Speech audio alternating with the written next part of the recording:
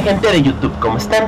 Bienvenidos una vez más a una nueva video reseña aquí en su canal favorito, Las Puertas de la Literatura. Soy su amigo su anfitrión, Carlos Mauricio Jr., ¿cómo están muchachos? Y en esta ocasión voy a aprovechar para traer una video reseña de un libro que es colaboración con la querida editorial BRYA, una editorial que yo quiero mucho y le doy muchas gracias a la editorial por la colaboración porque este libro, aparte de que fue escrito por una persona que es de las más admiradas del mundo, podría decir que lo admiro por su forma detallísima en cómo quiere los personajes, cómo demuestra todo.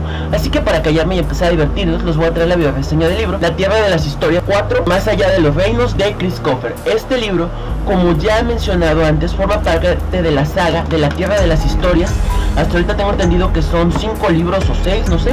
Está muy bonito el diseño, el color, cuenta con la cantidad de 420 páginas y este libro cuenta lo siguiente. Luego de que Connor eligió quedarse en la tierra de las historias y de que Alex sospechó del hombre que parecía ser su padre, en esta ocasión ambos hermanos, quienes ahora técnicamente forman parte de lo que es el gobierno de la tierra de las historias, tratan de encontrar a ese hombre. Diferencia Alex porque cree que es su padre y Conner porque sabe que es una amenaza. Sin embargo, este hombre no solo oculta un misterioso secreto al respecto de quién es él, sino también tiene un muy extraño poder, el cual consiste en lo siguiente. Al parecer tiene una poción mágica que lo que le permite es que si la rocías en un libro, puedes entrar en él y puedes sacar a los personajes. Aquí podemos ver como Connor y Alex, luego de que descubren que él tiene ese poder, van a tratar de detenerlo o van a tratar de impedir que ocurran cosas.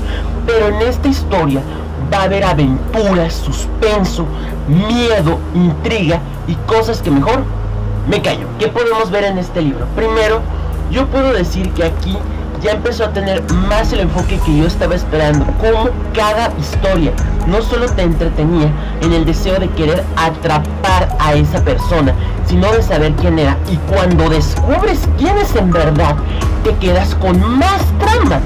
Luego cuando vas avanzando, la historia sigue trayéndote en ciertos niveles espantosos y muy originales.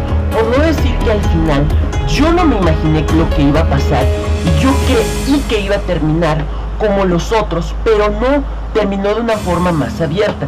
Incluso puedo compararlo con Cazadores de Sombras, porque los primeros tres libros sí terminaron como que una forma semi-autoconclusiva y los otros tres como si fuera una saga ya que no terminaban en las mismas formas. Por eso este libro, a mí en lo personal, sí lo recomiendo, sí me gusta, está padre.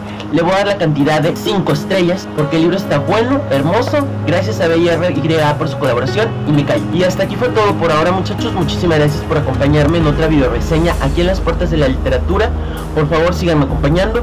Y no me voy sin antes decirles que la próxima video reseña le va a tener que tocar al libro Renegados de Marisa Meyer, la misma autora de Las Crónicas Lunares. No se lo pierdan ni bye.